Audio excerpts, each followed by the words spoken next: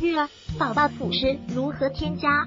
过来人四个原则和十个技巧分享大家，值得收藏。宝宝辅食如何添加？这个看似简单的问题，其实困扰着很多妈妈。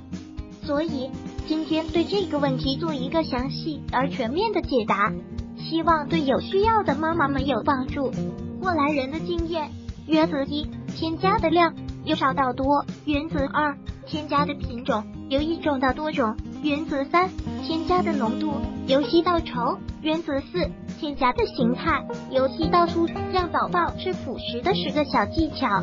一，娃会吃的时候，我们会尝试一下，大人吃他的食物还要吃的有趣，他看着就慢慢有胃口啦。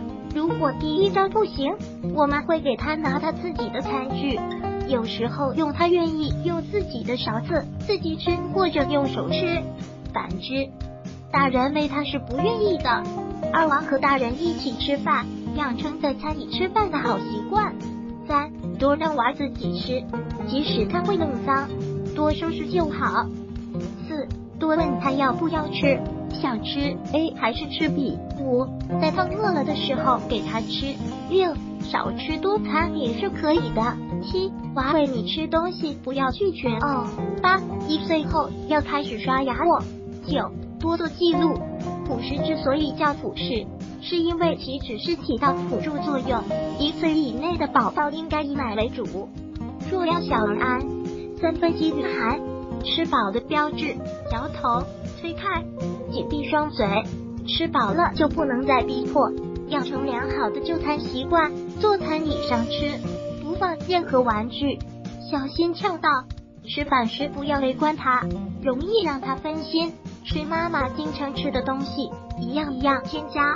最好在早晨添加新品种，尽量吃新鲜的食物。一岁以内不吃盐不吃糖，吃辅食后记得给宝宝刷牙。如果长了牙齿，可以用纱布或者棉柔巾轻擦牙齿表面。吃辅食后需要观察偏偏有无过敏出血现象。但是出现食物残渣则是正常的，比如吃了香蕉会出现黑线，拉出胡萝卜、西红柿、菜叶等。吃辅食后，甜甜会变得很臭。估计每个爸妈都经历过被宝宝的屎尿给熏死的阶段。吃辅食后要适量喝水，防止便秘。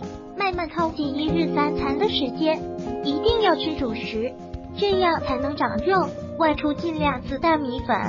可带上研磨碗，吃水果，继续观察宝宝身高体重增长，要沿着以前的生长曲线就没有问题。六个月后，宝贝会慢慢拉长，不用太担心。没有人天生会做父母，育儿也是一门永远值得我们学习的课程。这里也有更丰富的育儿博点，更全面的科普知识，更走心的育儿睡前故事。我是百万妈妈的选择。目前从事育儿行业五年，也是两个孩子的妈妈。如果喜欢本视频，请分享并订阅本频道。